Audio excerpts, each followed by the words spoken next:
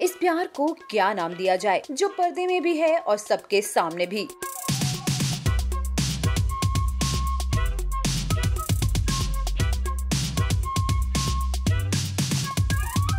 इन visuals को अगर आप गौर से देखें तो आपको दिखेगा दो लवर्स के बीच का वो प्यार, जो पब्लिक में तो नहीं, लेकिन बी टाउन में बिंदास है।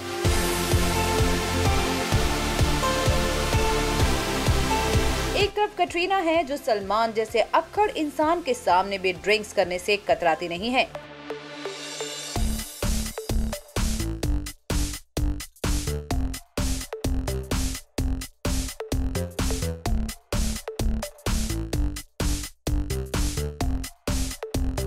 दूसरी तरफ़ सलमान, जो दूसरों के सामने कटरीना को हक करने से गुरेज नहीं करते। ये विजुअल्स बेशक कुछ साल पुराने हैं और इसके बीच में कटरीना और रणबीर कपूर की लव स्टोरी भी शुरू होकर बुरे अंजाम पर पहुँच चुकी है।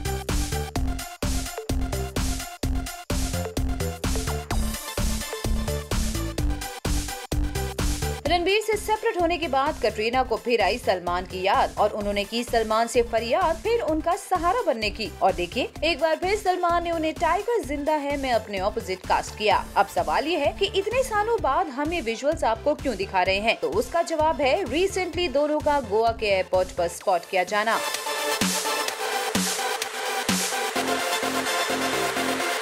जब दोनों इफी के ग्रैंड फिनाले से लौट रहे थे बट जैसे ही दोनों मुंबई एयरपोर्ट पर आए कि यहाँ आते ही दोनों अलग हो गए और अपने अपने रिस्पेक्टिव कार में घर वापस लौटे, ऐसे में ये सवाल उठना तो जायज़ है कि आखिर अब भी दोनों अपने रिलेशनशिप को सबके सामने एक्सेप्ट करने से क्यों डरते हैं? वो भी तब जब दोनों के ही फैंस दोनों को एक साथ देखकर खुश होते हैं।